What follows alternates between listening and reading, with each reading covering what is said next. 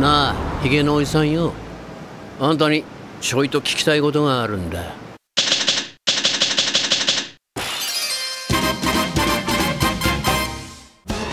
ー俺様ルパン三世。全国のファンのみんな元気にしてたかい？最近ますます藤子ちゃん綺麗になっちゃって。だからちょっと俺も大人の男になろうと思ってよ。で大人の酒といえばやっぱりウイスキー。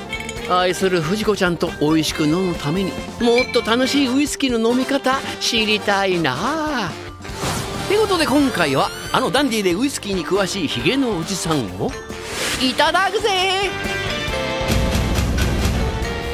ヒゲのおじさんからウイスキーのあれこれ教えてもらおうと思ってよ。ま日本各地どんどん盗んでいくからよ。覚悟しておきな。